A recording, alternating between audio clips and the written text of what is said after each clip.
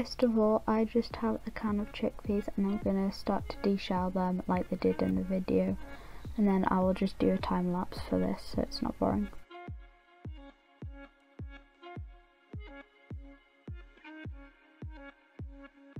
I don't know if you can tell but this actually took me quite a while to do.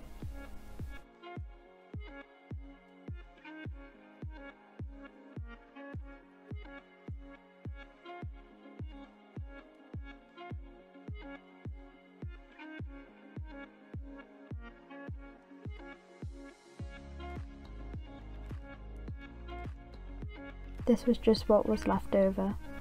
Then add in the chickpeas to the blender. Then it says to add in nut butter. They use peanut butter but I didn't have any so just using cashew butter.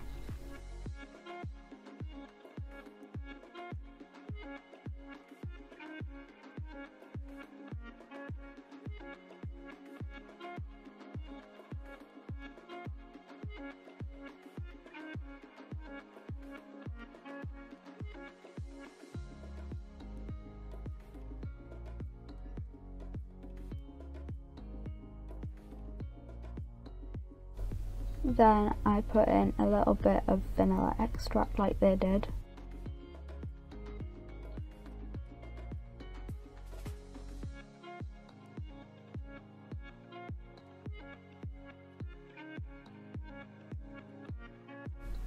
Then they said to add in maple syrup but I didn't have any so I'm just using golden syrup but it should work the same.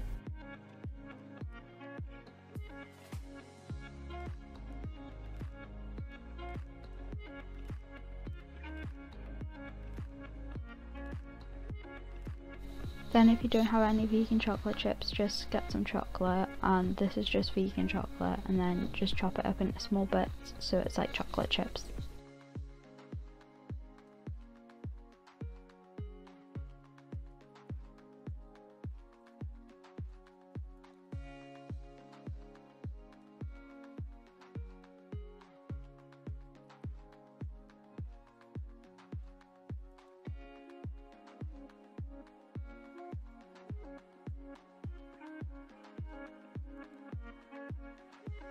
Thank you.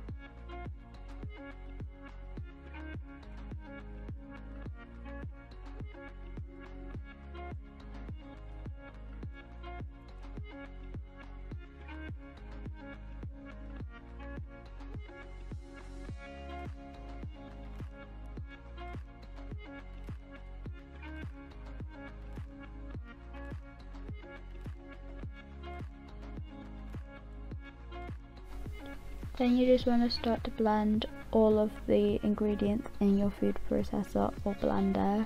You can also do this bit by using a fork, that's what they said in the video.